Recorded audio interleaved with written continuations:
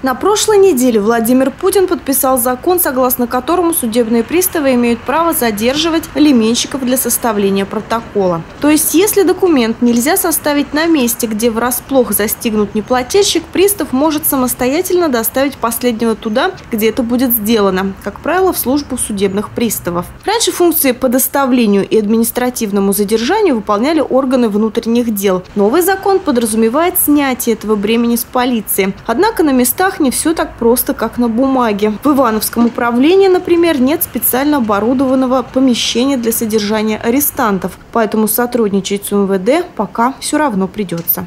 Для реализации функций по а, административному задержанию, а, например, необходимо в органе Федеральной службы судебных приставов специализированное помещение для а, помещения туда лиц административно задержанных. Поскольку в настоящее время указанные помещения отсутствуют, реализация данной функции возможна при взаимодействии с сотрудниками органов внутренних дел.